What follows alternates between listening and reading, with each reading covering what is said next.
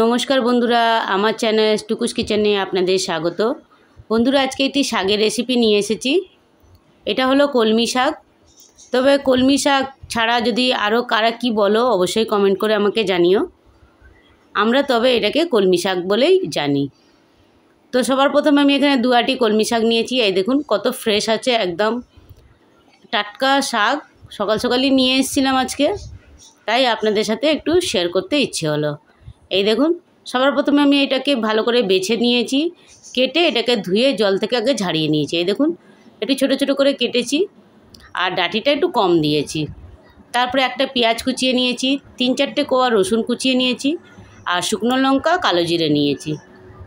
এটা করাটা খুবই সহজ আর খেতে তো দারুণ হয়। তো সবার প্রথমে এটা করব সর্ষের তেলে। দুই দুই চামচের মতন নিয়েছি সর্ষের তেল। তেলটা ভালো মতন গরম হয়ে গেছে, তারপরে দিয়ে দিয়েছি কালো জিরে, শুকনো লঙ্কা, রসুন আর যে পেঁয়াজ কুচিয়ে রেখেছিলাম সেইগুলো। দিয়ে এটাকে একটু ভালো করে লাল করে ভাজবো। রসুনটা কিন্তু দেওয়ার সঙ্গে সঙ্গে পেঁয়াজটা দিয়ে দিতে হবে, রসুনটা পুড়ে গেলে কিন্তু খুব বেশি রসুন রসুন গন্ধ আসবে। যারা নিরামিষ খেতে চাও, তারা কিন্তু পেঁয়াজ, রসুনটা স্কিপ করতে পারো, তাতে কোনো অসুবিধা হবে না স্বাদ নিয়ে। একটু কালো জিরে, শুকনো লঙ্কা দিলেই হবে।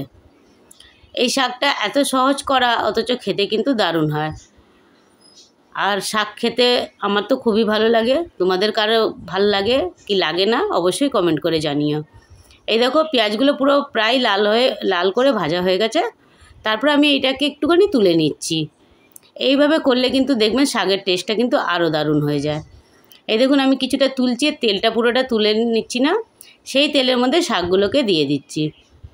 শাকটার মধ্যে কিন্তু এমনি একটু জল ছাড়েই, তাই জন্য একটু যতটা চেষ্টা করবেন ধুয়ে এটাকে জল থেকে প্রায় আগের থেকে ঝাড়িয়ে রেখে দিতে, তাহলে জলের পরিমাণটা একটু কম থাকবে।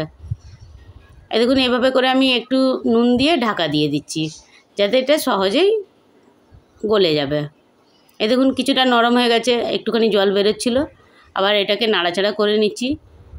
এটা করতে বেশিক্ষণ লাগে না খুব জোর হলে সব রেডি থাকলে দশ থেকে পনেরো মিনিটের মধ্যে শাকটা রেডি হয়ে যাবে। তারপরে একটুখানি দিয়েছি হলুদ, হলুদটা দিয়েও একটু ঢাকা দিয়ে দিয়েছিলাম যাতে আরও একটু নরম হয়ে যায় শাকগুলো। এরপরেও কিন্তু আর ঢাকা দিচ্ছি না, আমি এটাকে আঁশটাকে বাড়িয়ে এই শাকগুলোকে একটু ভালো করে ভেজে নেব। তেলের পরিমাণটাও খুব কম দিতে হবে, বেশি লাগে না। এইভাবে করে ভাজতে ভাজতে একটুখানি আর একবার মনে হয়েছিল, তাই একটুখানি আবার ঢাকা দিয়ে দিয়েছিলাম আমি।